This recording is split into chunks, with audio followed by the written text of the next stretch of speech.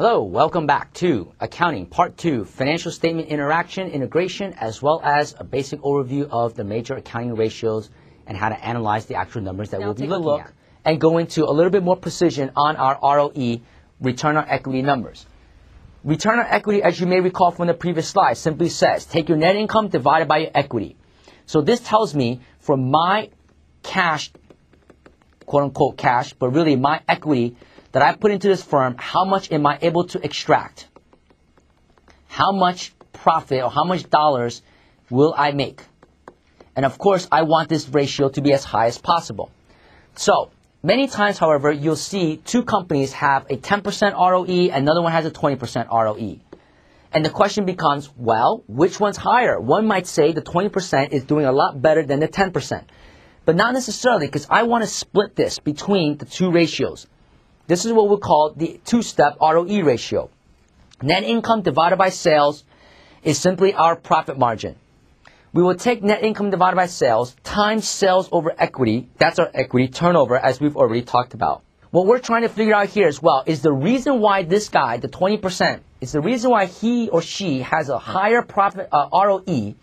Is it because they have a higher profit margin?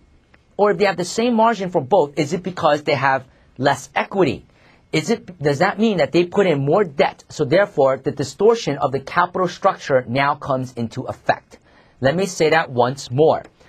If I have a company that has a higher, much higher ROE, but compared to another company who has a lower ROE, if they're both making the same profit margin, meaning for every dollar of sales they generate, they are keeping the same net income dollars. That's constant. But maybe the reason why the guy who has a higher ROE is higher is because they have a smaller equity base.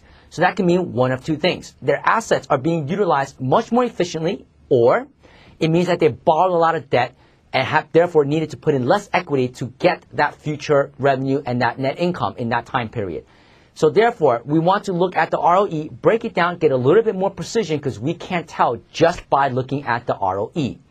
Sometimes people even say this is not efficient enough or this is not even good enough. I want a further breakdown. That's when we now have our three-step ROE ratio.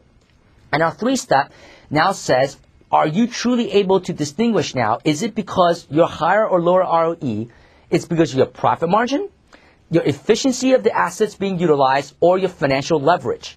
If you have the same profit margin and the same asset turnover, what that means now is same profit margin, same asset turnover, that must mean that you have much greater debt to get you a lower equity base. That might be why you have a greater 20% ROE. But if it turns out that these are constant, your, your uh, relative mix of capital structure, your debt versus equity borrowings, as well as your efficiency of your assets being utilized are the same, but this 10% guy has a lower ROE because, hey, he just has a lower profit margin, then there's your answer. So what this means is by looking at the breakdown, the ROE, in a two and three step ROE, you get more clarity and more information as to what is making up that return.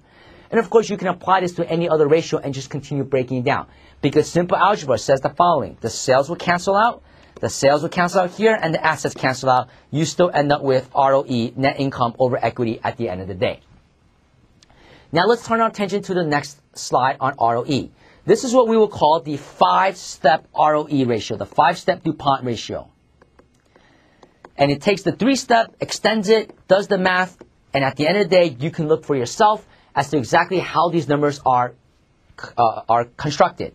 But at the end of the day, you could just put a big X on this because this is not really used in real life. Moving on.